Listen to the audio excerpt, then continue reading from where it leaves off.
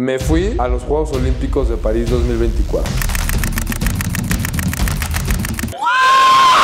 Ay, güey. Amigos, ustedes tienen que saber que esta es una de las mejores experiencias de mi vida. De mi vida. Desde chiquito yo siempre había dicho que algún día iba a ir a las Olimpiadas. Y tengo 29 años y se me hizo. Pues como que Edu y yo todavía no, lográbamos entender qué onda. Y nos dieron nuestros gafetes que eran All Access. Y de repente nos explicaron los del equipo de Telcel. Ustedes pueden entrar al venue que quieran, cuando quieran, como prensa. Y si teníamos boletos y queríamos estar en la tribuna, nos podíamos poner allá. Para nosotros era más fácil grabar en la tribuna porque pues podíamos gritar más y hacer más ruido.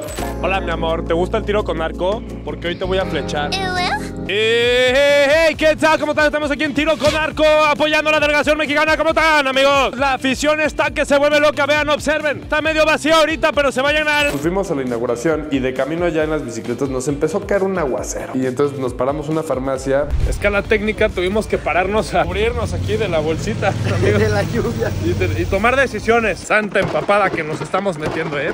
Pero todo sea por los Olympics. Esto no nos va a parar. Vámonos a la inauguración. Y ahí fue la primera vez que empezamos a sentir las, lo- las Olimpiadas. Había una fila de gente así enorme. Y nosotros dijimos, o sea, no vamos a llegar. La inauguración empieza en breve. Y luego ya entramos y los de seguridad nos dicen, no, es que ustedes son de media. Ustedes van por otro lado. Pues no me lo van a creer. Acabamos de pasar por este espacio de seguridad. De repente ahí decía, acreditaciones por allá, pero en chiquito, ¿eh? O sea, estaba muy escondido. ¡Pum! Que nos saltamos la fila. Nos meten por otro lado de Nos checan las bolsas, las cámaras, todo. Bienvenido. Pasamos y de repente... Bienvenidos a la grada de medios. Aquí están todos los medios de todo el mundo. Bastante de ellos están de este lado. Hola, hola. Y nos sentamos al lado de, de un compa de NBC. Nuestro amigo Matthew. Y ahí fue la primera vez que intercambié uno de mis pins. Que allá, déjenme platicarles que el tema de los pins es un tema enorme. Hay intercambios de pins entre todas las televisoras, los comités olímpicos de distintas partes del mundo y son pines muy valiosos. Son pines que pueden llegar a ser muy demandados y son pines difíciles de conseguir. Mi meta era conseguir el del Comité Olímpico Mexicano. Llegamos y Claro Sports nos regalaron tres pins. Entonces el primer pin importante que cambié, uno de los pins más que la gente más quiere son los de NBC. Este cuate tenía uno de los tres. Le dije, oye, pues Rola, tengo uno de los pins, ¿qué pasó? Y me lo dio. Y ahí arrancó mi, mi carrera de los pins. Y un día fui a la Casa México, mi amiga Sofía estaba como voluntaria dentro del Olympic Village. Me dijo, Ale, la verdad es que te quería traer un regalo porque me gustan mucho tus videos y te traje esto, güey y me da el pin del Comité Olímpico. No sabes lo feliz que me hiciste con ese pin. Te adoro, te quiero, te mando un beso y un abrazo. Muchas gracias. Otro de mis favoritos es el de la bandera de China. Estamos intercambiando pines. Yo le voy a dar este y ella me va a dar este. La bandera de China. Thank you. Thank- in Mexico. Yeah, ma- ma- how do you say? Yayo México. Eso significa vamos México. Yayo Chongwo. Sin embargo, ese se me cayó. Y siento que un día en la corrida se me cayó. Ese es el único que perdí. Pero bueno, pues, pero aquí tienen la foto. Véanlo. Este es el pin de, China. Y pues ya, yo tenía la emoción de ver a mi delegación, ¿no? Ahí está el primer barco, señores. Ya México. Güey, vamos en la C. Ah, no. ¿Cuál, cuál México? De repente estábamos en la J. Y ahí fue cuando dije, oye, pues a ver, vamos a probar el gafete All Access. Pues ahí nos pusimos sobre el puente y, y pues ya y estábamos esperando que pasara. Y de repente Eduardo me dice, güey, ahí viene. Y había unos, uno- unos americanos, estaban ahí en el puente grabando y todo. Y les decimos, oigan, disculpa, es que esta es mi delegación, güey, es mi país, güey. Dice, no, no, no, no, no, pásenle, súper buena onda, nos dejaron acomodarnos. Y que viene el barco y empezamos a gritar.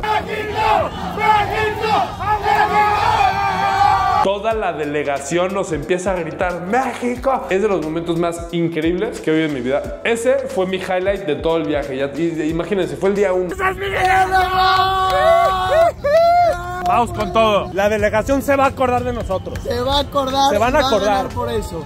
Vámonos, vámonos. Ya. Vámonos, ya. Vámonos, güey. Ya, ya. Pasa el barco y digo, eso no sale en video, pero me empezaron a salir lágrimas, empecé a llorar, fue algo increíble, fue algo precioso, precioso. Y a partir de ahí regresamos al día siguiente, Al día siguiente. recorrimos toda la ciudad, fuimos a todos lados, los monumentos más importantes. Entonces llevábamos unas ideas de hacer entrevistas a la gente, de cómo está viviendo la experiencia y cotorrear con ellos y jugar un poco. ¿Qué tuvieron que empeñar para venir acá? Foto de mi virginidad y ya. Son las joyas de la abuelita.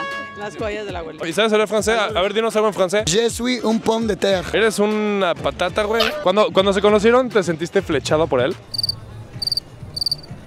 A ver, échate una porra. A la bim. A la abajo. A la bim, bomba. ¿Y ya saben cómo van a festejar la medalla de oro? Oye, ¿quién te vistió hoy? Yo sola. Fui y mandé esto a hacerle. Traigo mis gorritos y mis banderitas. Traemos sombrero Chanel, Louis Vuitton, vean. Me fui un poco más clásico, fue idea de los dos y pues la bandera aquí. Una más fácil, a ver, una más fácil. ¿Qué representan los cinco anillos olímpicos? Dos continentes. ¿Cuáles son? ¿Cuáles son? ¿Cuáles son? A ver. ¿A él? ¿Le toca a ver, tú lo dijiste, ¿no? Antártica, As- Asia. Antártida. Antártida, eso, perdón. Asia, eh, este que diga Norteamérica, Sudamérica, aunque también puede ser toda América, África y Oceanía. Correcto. ¿Cuántos países hay en el mundo? 195 más 5 recono... eh, bueno, o sea, ¿Cómo se dice gracias en japonés? chin chon chung. hacer los Polantepec Olympic Records, que pues básicamente la gente tenía que hacer algún tipo de reto contra otro país. Vamos a ver qué país que más rápido se come un hot dog para llevarse el Polantepec Record. Entonces, a las de tres, corre tiempo, editor, ponme un reloj ahí en edición. Tres, dos, uno, ¡vamos! Y Maca ataca con todo. Bruno dándolo todo. ve. Bruno le está mordiendo por la parte de enfrente y la parte por atrás. Es una cosa espectacular. ¿Qué pasó, mi Maca? Venga con todo. Es de ustedes, de la Casa de Sao Paulo, acá en las Olimpiadas de París. Destrózalo, no te dejes, güey. Aquí tenemos a toda la gente apoyando de Brasil. ¡Ey! Brasil. ¡México! ¡México! Y nos no Brasil, amigo. Aplauso, aplauso, clap, clap, clap. clap. Bien, muy bien. Bruno se ganó Polantepec Record. Venga. Yo gané contra Francia, amigos, tienen que saber, ahí en, disparos. Vaya que estuvo reñido, ¿eh? Estuvimos... Yo pensé que iba a ganar este cuate, pero como que en el último tiro fue donde lo logré rebasar. Vamos 4-4. Venga. Nuestra meta era publicar 30 videos y tienen que saber que lo logramos. Llegamos a los 32 videos. Algo que me sorprendió fue llegar a París y darme cuenta que la ciudad estaba prácticamente vacía. Y eso fue porque los parisinos en particular estaban muy molestos porque se usó mucho del recurso público para hacer las Olimpiadas. Creo que gastaron un billón de euros o de dólares para limpiar el río Sena. Creo que estoy en lo correcto. Si no, confirmen. Pero eso es lo que gastaron. Ahorita nos metemos, ¿no? Para ver si, si está limpia, ¿no? En teoría está limpia, güey. Nadadita, una nadadita, güey. Va, va a estar un poco de frío el viento. Abre paso para el verdadero freidor. Tú no podías ir a la Torre Eiffel, al menos que tuvieras acceso para estar en la Torre Eiffel, porque ahí estaba el estadio de voleibol. La, la Torre Eiffel atrás y que se viera la cancha fue, fue una cosa de película. Lo único que crearon de cero y lo construyeron de cero fue el venue de natación. Y lo construyeron con puros materiales reciclados. Vean las imágenes de cómo es este estadio, es una cosa de verdad espectacular. Son ellas, son ellas, son ellas. Llegamos justo cuando brincan, güey. ¿Qué pedo? ¡Venga!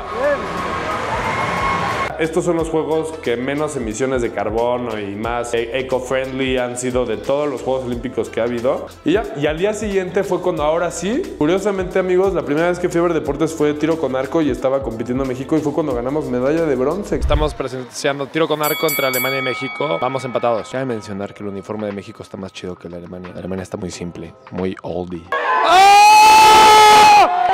Necesitamos un 9 para ganar y le metimos 10. ¡Qué manera de ganar, señor! Estamos aquí. Eduardo, ¿cómo te sientes? Se viene la semifinal.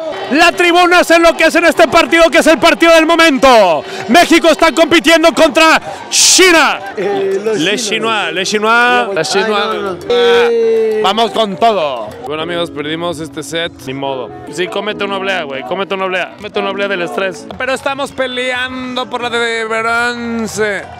Esas de Netherlands no lo traen, no lo traen, no lo traen. Y arranca la batalla para ganarnos el bronce. Arranca Holanda. Estamos a tan solo un tiro de llevarnos la medalla de bronce. ¡Sí! ¡Medalla de bronce para México! México hace historia una vez más. Fuimos a comer, cada vez que teníamos un poco de más de tiempo, procurábamos comer en algunos restaurantes y que, que si comíamos los escargots y tal. Y conocí a Pau Martínez y a Yair Ocampo, que son atletas. Y... Pau Martínez y Jair Ochampion. ¿Qué pidieron? Delicioso. Fuimos a comer a un restaurante típico de allá. Haz de cuenta que es la casa de Toño, pero de Francia. Y es un lugar tipiquísimo, famosísimo, delicioso. Y ahí estuvimos comiendo muy a gusto. El día de hoy estamos comiendo en uno de los lugares clásicos de France que se llama Bouillon Chartier. Y qué mejor que comer con gente que también tiene hambre. Pau Martínez nunca había probado los escargots y los probó, estuvo muy divertido. Soy tu diccionario. Los escargots son caracoles de la especie Helix pomatia cocidos. No, no, no, no, no, ¿cómo no? A ver, los, los tres al mismo tiempo. Dos, una, dos, tres. Pero disfrútalo, no te lo pases. ¿A qué sabe? A pulpo, ¿no? Conocí a Angie Ruiz, que ella se ganó una medalla de bronce. Un aplauso para nuestra medallista. Hey chicos, les presento a Angie, medallista olímpica. Está por acá, muy guapa. No sé si le quieran mandar un DM. Pónganse pilas, ¿no? Acá está la Angie. Si ustedes pueden ir a unos Juegos Olímpicos y ahorrar, estuve entrevistando mucha gente y, y coincidió que varios decían que el promedio de lo que tienes que ahorrar son unos... Arriba de 200 mil pesos. Hay que comer más que atún después, pero aquí andamos, ¿eh? Como 200 mil pesos porque... ¿Qué eventos vas a ir? Hay unos eventos que cuestan más que otros. Claro. boletos no tienen ustedes? No, ¿a quién reventa? Ahí está el revendedor. Tengo como 25 boletos. La verdad es que han sido unos años de mucha paciencia, mucha constancia. Ya vamos haciendo contenido desde hace, yo diría que como unos cuatro años. Cuando te lo propones y tú crees en tu proyecto y tú tienes pasión por tu proyecto, se dan las cosas, cabrón. ¿Qué tip le darías a alguien en la vida? Céntrense y pónganse muy claro el objetivo que quieren lograr. Trabajen hasta lograrlo. Todo el tiempo que tengas para poder dedicarle a tus sueños, hazlo. No lo dudes. Va a valer la pena. Y yo me puse de meta que pase lo que pase, yo tenía que lograr de alguna forma estar allá en el evento deportivo más grande de- de- del año y de que hay en el mundo y ver a gente compitiendo en el más alto nivel deportivo que existe. Para mí fue, fue una cosa espectacular, estaré agradecido toda la vida. Y hay muchas más anécdotas amigos, pero se van a aburrir si yo me siento aquí a contarles dos horas de mis anécdotas allá, pero lo que sí amigos es que les tengo que decir que esta fue yo creo que de las top tres experiencias de mi vida. Y, pues gracias a la vida, gracias al trabajo, gracias a Dios y gracias a toda la gente que me apoya, gracias porque ustedes están viendo este video, gracias por acompañarnos. Like, comment, subscribe, share. Suscríbanse y pues ya, denle like, amigos, y compártanlo, ya, suscríbanse. ¿Qué, les cuesta? Ya, acá andamos. Estamos echando cotorreo, le estamos echando ganas para ustedes, amigos. Peace.